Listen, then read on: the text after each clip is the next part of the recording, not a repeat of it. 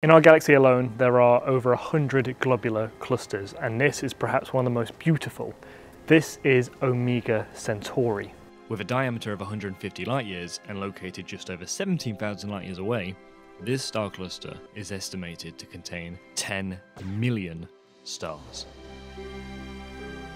Could you imagine what it'd be like to live at the centre of this cluster of stars? What our night sky would look like? Our nights would permanently be illuminated by starlight. What makes Omega Centauri that much more special than any other star cluster is that we believe it originated from the core remnant of a dwarf galaxy. Our nearest stellar neighbour, Proxima Centauri, is located 4.25 light years away. These stars are on average a mere 0.1 light years apart from one another. Located at the centre of this cluster is a horrifying mystery a black hole with a mass of 40,000 suns.